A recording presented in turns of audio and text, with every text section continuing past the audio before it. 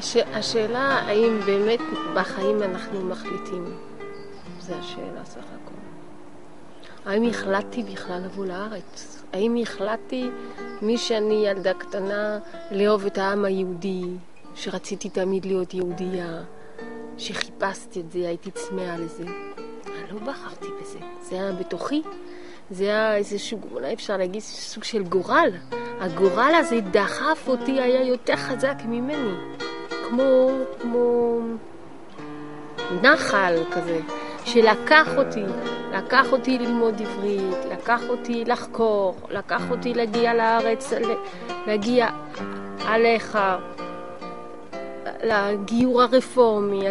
אז אני, אני רואה את המכתב הזה כהמשך של דרך, אני, אני לא רואה את זה כחתך. זה לא בא כאילו לא התעניינתי בכלל ופתאום בא לי את המכתב הזה. לא, אני רואה את זה כהמשך שלי. אמ, ואני, יכול להיות שאני אני גם דמות אולי... אני קצת פסיבית, אני לא כל כך אוהבת להחליט.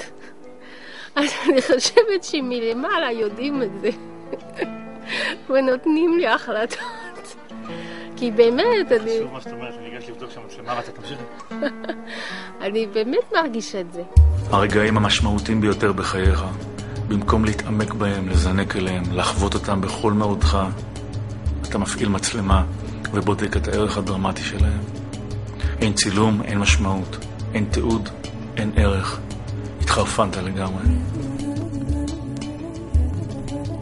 Maintenant, je suis là-dedans. Quand euh, j'ai dit à, à Ghislaine, mais j'ai acheté les bouquins de Chaim Dinovich, le, le dimanche matin, je regarde les émissions de Josie Eisenberg, parce que